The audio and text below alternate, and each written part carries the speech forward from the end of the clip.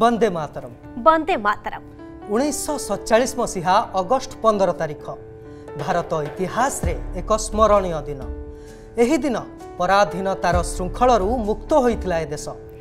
ଆଜି ଦୁଇହଜାର ଏକୋଇଶ ଅଗଷ୍ଟ ପନ୍ଦର ତାରିଖ ସବୁ ସମୟରେ ସତ୍ୟର ସନ୍ଧାନରେ ଥିବା ଅର୍ଗସ୍ ପାଇଁ ଏକ ସ୍ୱତନ୍ତ୍ର ଦିନ। ଦେଶର ପଞ୍ଚସ୍ତରୀତମ ସ୍ୱାଧୀନତା ଦିବସରେ ଆମେ ସ୍ମରଣ କରିବୁ ଓଡ଼ିଶାର ସେମିତି କିଛି ବୀର ଶହୀଦମାନଙ୍କୁ। ଯେଉଁମାନଙ୍କ ପାଇଁ ଆଜି ଆମେ ଗର୍ବିତ ଆମ ଦେଶ ବି ଗର୍ବିତ। ଆଜି ଆମେ ସମ୍ମାନିତ କରିବୁ ବୀର ଶହୀଦଙ୍କ ସେହି ଆତ୍ମୀୟମାନଙ୍କୁ ଯେଉଁମାନଙ୍କ ତ୍ୟାଗ ଯେଉଁମାନଙ୍କ ବଳିଦାନ ଆମମାନଙ୍କ ପାଇଁ ପ୍ରେରଣା ସାଜିଛି। ସେଭଳି ଜଣେ ବୀର ଶହୀଦ ଯାଜପୁର ଜିଲ୍ଲା ଧର୍ମଶାଳା ବ୍ଲକ କ୍ଷେତ୍ରପାଳ ଗାଁର ବୀର ଶହୀଦ ଶଶାଙ୍କ ଶେଖର ସାମଲ। ଆସନ୍ତୁ ତାଙ୍କର କିଛି ସ୍ମୃତି ସାଉଁଟିବା। କାର୍ଯ୍ୟକ୍ଷେତ୍ରରେ ନିୟୋଜିତ ଥିବାବେଳେ ଫେବୃଆରୀ ଏକୋଇଶର ସେହି ଅଶୁଭ ଦିନକୁ ଭେଟିଥିଲେ ଏହି ବୀର ଯବାନ।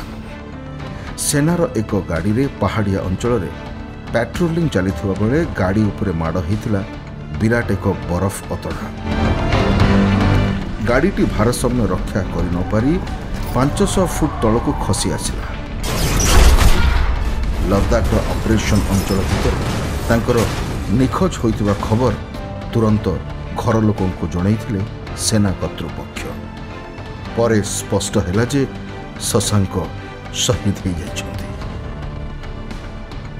ଭାରତୀୟ ବାୟୁସେନାର ବିମାନରେ ଦିଲ୍ଲୀ ସେଠାରୁ ଭୁବନେଶ୍ୱର ଆଉ ଭୁବନେଶ୍ୱରରୁ ବଡ଼ଚଣା ପହଞ୍ଚିଥିଲା ଶଶାଙ୍କ ସାମଲଙ୍କ ପାର୍ଥିବ ଶରୀର।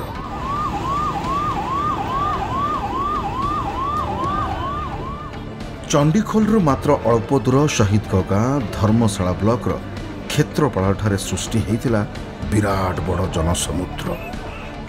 କାନ୍ଦ ବୋବାଳିରେ ଗାଁ ଦାଣ୍ଡ ଫାଟି ପଡ଼ୁଥିବା ବେଳେ ବନ୍ଦେ ମାତରମ୍ ଓ ବାପୁ ଭାଇ ଅମର ରହେର ନାରାରେ ମୁଖରିତ ହୋଇଥିଲା ସେଦିନର ପରିବେଶ।